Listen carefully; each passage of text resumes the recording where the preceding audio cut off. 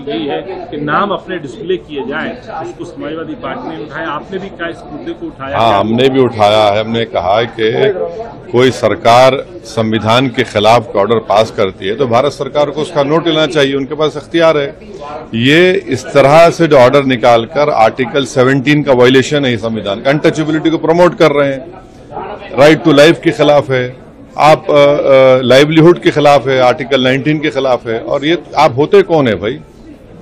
आप किस किस बुनियाद पर ऑर्डर निकाल और आपके ऑर्डर निकालने से मुजफ्फरनगर इतने ढाबे और मुस्लिम मुस्लिम एम्प्लॉयज़ को निकाल दिया गया है, जो मुसलमान के ढाबे थे, वहाँ कोई जा नहीं रहा है खाना खाने के लिए। अब ये कहाँ रुकेगा कल कोई मुसलमान बोलेगा रमज़ान में तीस दिन रोज़े रखता हूँ, पंद्रह घंटे में पानी नहीं पीता हूँ। पानी मत पिलाइए किसी को। ऐसा कर सकते क्या आप? और किस बुनियाद पर आपकी एएफसी को मैकडोनल्ड से इतनी मोहब्बत कैसा होगी आपको? उनको कहा जा रहा है क्या? तो ये सिर्फ़ नफरत की निशानी है मुसलमानों के खिलाफ। खुली डिस्क्रिमिनेशन किए जा रहे अपार्थाइड है ये तो। क्लियर कट अपार्थाइड है। और हम विकसित भारत की बात कर रहे हैं या फिर हिटलर की भारत की बात कर रहे हैं? सरकार ने कोई आश्वासन दिया? नहीं सरकार ने कुछ नहीं कहा। सुन लिया सर।